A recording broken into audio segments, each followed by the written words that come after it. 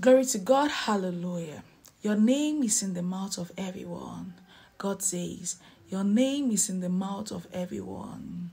This is Prayers and Counseling with Damaris. If you're seeing me for your very first time, you're welcome. I love you so much. God bless you mightily in the name of Jesus.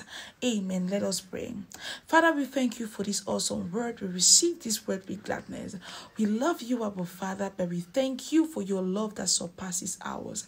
In the name of Jesus, amen. Hallelujah. God says, Your mouth is in, your name is in the mouth of everybody.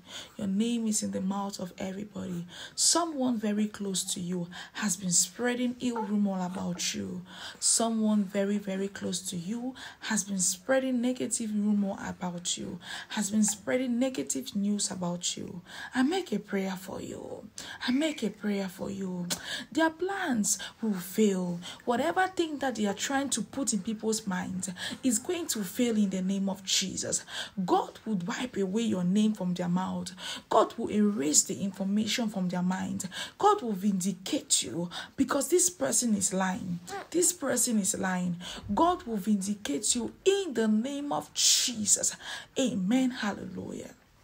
Now the Lord bless you, the Lord keep you, the Lord cause his face to shine upon you, the Lord be gracious to you, the Lord give you peace.